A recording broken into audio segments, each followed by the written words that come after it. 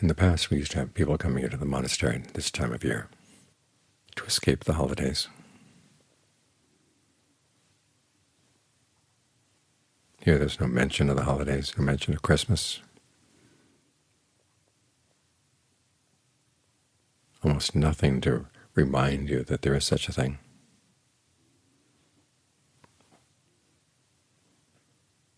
No Christmas carols, no Santa Claus. And people found that more than just refreshing.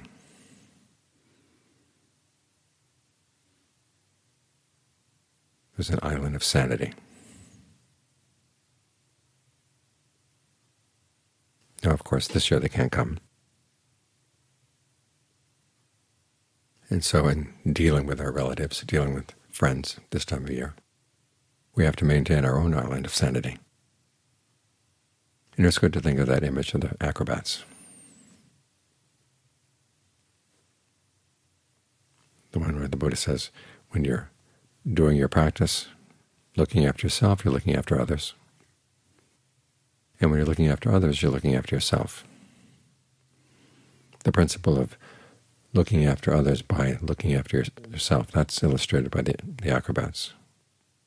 Each acrobat maintains his or her own sense of balance and helps the other. Unfortunately, there's no image for the other side. The principle of looking after yourself by looking after others. But the Buddha does give an analysis. He talks about the four qualities you've got to bring to your dealings with other people that are also, also strengths in your own mind. And as you regard them as strengths, it makes them a lot easier to deal with difficult people. Sometimes we think the Buddha doesn't appreciate the difficulties of family life. But after all, he escaped. As he said, household life is dusty, confining. He wanted to get out. When he gave that image of the fact that no matter who you meet, it would be very hard to meet somebody who hadn't been your mother at some point, hadn't been your father, hadn't been your sister or brother, your son or your daughter. And he doesn't make it a, a reason for compassion. He makes it a reason for samvega. Think of all those different family lives and all the difficulties of family lives. It's enough, he said, to make you want to get out. So he did appreciate the difficulties of family life. In fact, two of the qualities he talks about in dealing with other people suggest that you're going to be dealing with difficulties. One is patience and the other is equanimity. They work together, but they're not quite the same thing. Patience is when you don't react to other people's outrageous behavior. You show forbearance. There's a passage in the canon where the Devas and the Asuras have been fighting for control of heaven, and they finally decide to have a debate. And the debate is precisely on this. Should you show forbearance when other people are mistreating you? And the Devas say yes, and the Asuras say no. And the Asura's reasoning is that they'll see it as weakness. But the Devas say, well, it's your karma and what other people see as weakness is not the issue. You have to maintain your own purity. And it's in this way that dealing with other people, showing patience and showing equanimity, actually do benefit you because they become your guarantees that you're not going to overreact, or you're not going to react in unskillful ways.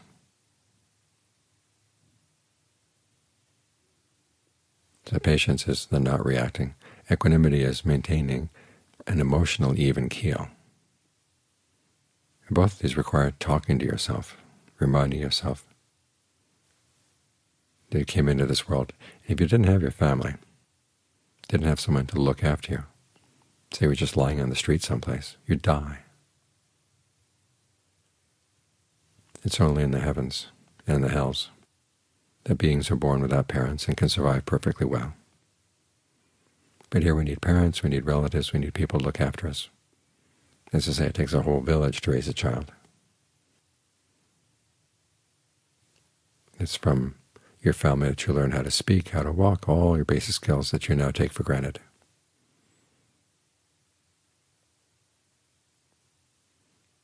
And so when members of the family are difficult, remind yourself, well, you do have a, a debt of gratitude.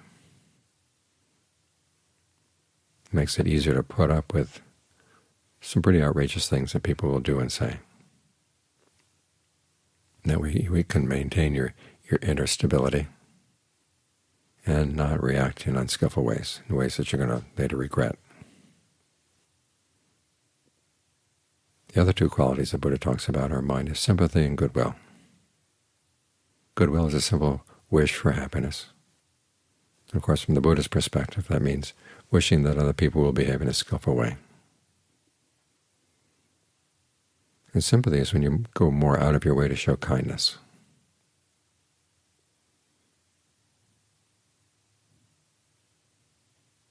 So when there are opportunities to show some kindness, remind yourself, okay, you're developing a good quality in yourself. The same with goodwill.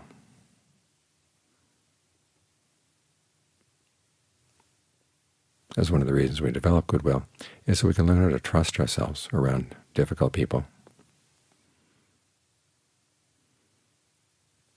To make sure that we don't end up saying things and doing things that would be harmful. As long as you're acting on goodwill, if you do say something that ends up causing trouble, it's a lot easier to live with yourself. If you were acting on ill will and you said something and there was a trouble and there was trouble, you tend to get very defensive. And then you don't learn. But making goodwill as your default motivation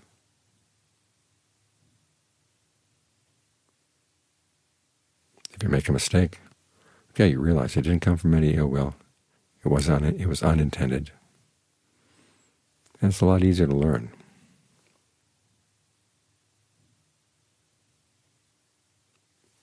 So as you develop these virtues, patience, equanimity, goodwill, sympathy, they make it a lot easier to deal with other people. And they strengthen good qualities in your own mind. Qualities you're going to need in the practice. I've been reading an interesting passage today where the Buddha is talking about good people living together and bad people living together. And bad people living together don't want to correct other people because they're afraid they'll get corrected. And they'll be corrected out of a mind of no sympathy. This is a theme that comes again and again, that one of the benefits of living in a community like this is that if other people see that you're doing something that's unskillful, they can talk to you about it. But they have to talk about it in the right way. Again, with a mind of sympathy, goodwill, patience, and equanimity. Then you benefit. You've got the advantage of someone else's pair of eyes. And as the Buddha said, if wise people point out your faults. You should see it as a, another person pointing out treasure to you. Because if you don't see your faults, how are you going to solve them? How are you going to make up for them?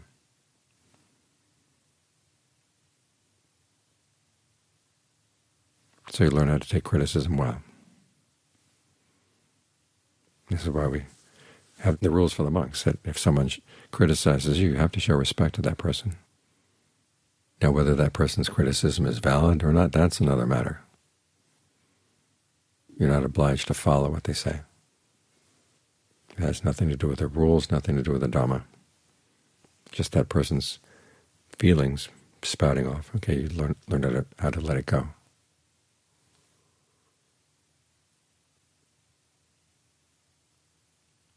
If you can't let it go, there's a lot of trouble. I was talking to someone the other day who was saying, if someone says something wrong, how can you not let, how can you not correct it? How can you just let it go?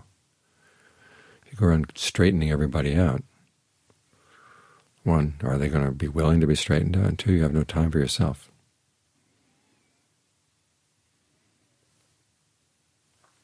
I know in my own case, Ajaan Fuang gave me more criticism than anybody else I have ever been around.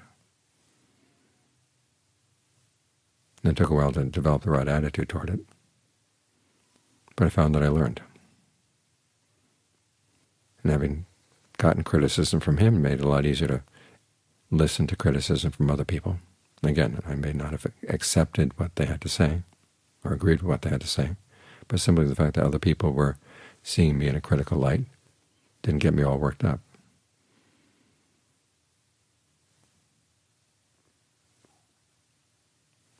And so this is a good habit to develop.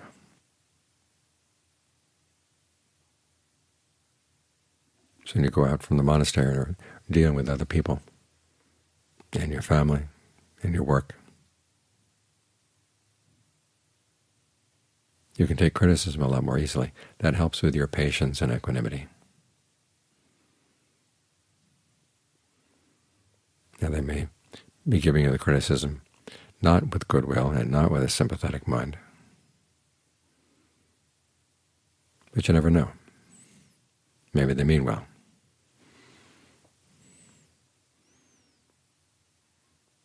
And when you can let the fact of criticism go past you and try to take what's valuable from it and leave the rest, that makes it a lot easier to deal with difficult people in all kinds of difficult situations. Because one of the hardest situations in which to maintain your equanimity or patience is when people start yelling at you, saying very unpleasant things. And you learn to turn off the vacuum cleaner in your mind, the part that takes up the dirt.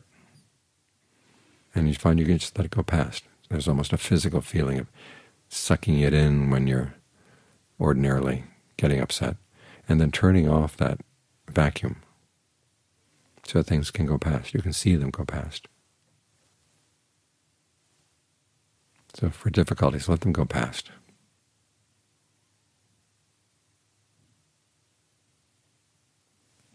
maintain your even keel. And that way you benefit, and the people around you benefit as well.